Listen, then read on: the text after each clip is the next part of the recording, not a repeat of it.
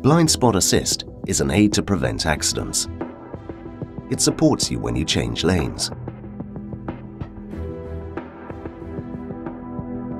To activate the assistant, use the buttons on the multifunction steering wheel to select the assistance menu item. Now select Blind Spot Assist and press OK to activate or deactivate it. Those areas up to 3 meters behind or directly next to the vehicle are detected using radar sensors. Blind Spot Assist is active from speeds of approximately 30 kilometers per hour. If there are vehicles in the monitored area, the warning symbol in the exterior mirror lights up to bring this to your attention.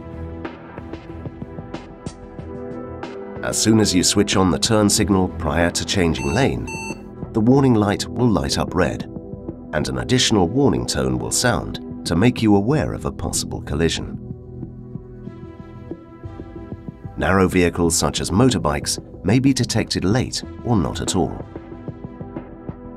Also, vehicles may not be properly detected if the sensors are dirty. Therefore, always pay attention to traffic conditions and your surroundings.